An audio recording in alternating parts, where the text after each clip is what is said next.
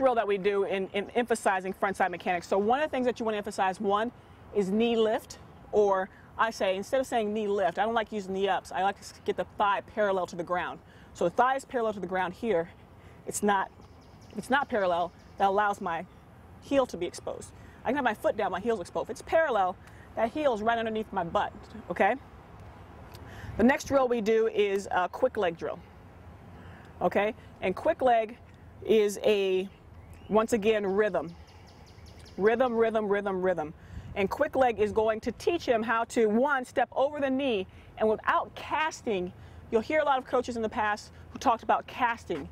High school athletes do that B-skip thing when they run. You want a B skip, they're thinking about B skipping. It's not about the kick out, it's about the force being applied back to the ground. Always remember, you can't go anywhere unless you're on, the ground. You can't push in the air. There's nothing to push against. So when you're doing a beast, when we do a, a quick leg drill, we're trying to affect the velocity or the speed of the recovery. How fast can we recover? You know, this is called a recovery cycle. How fast can we recover? So we're working on being tall and recovering, recovering, recovering. And in doing that, the cue is, is the foot always comes back underneath you. So when we do this, we're not trying to stop out here. All we're thinking about is bringing our heel up, letting our hamstring be exposed here, and getting our foot back underneath our center of mass.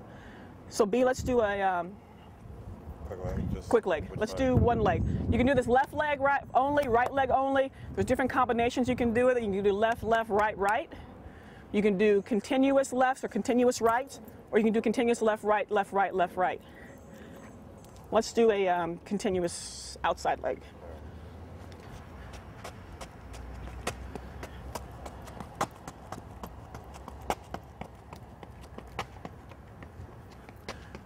Okay, and bring it back from there. Can you come back from there? Boom. Look down here. Look down here. Good. So what you see is now he should always remain tall. And I was cueing him to look down toward me because we want to be in slow motion. You're right here. You're tall, foot comes up, step over the knee, and pull the foot right back underneath you. So this is so a left, left, right, right, as you saw BRM do. A left, left, right, right, where you're really emphasizing getting back down off the ground looks like this. Left, left, right, right, left, left, right, right. Okay? So BRM, do that for me. Left, left, right, right. Left, left, right, right.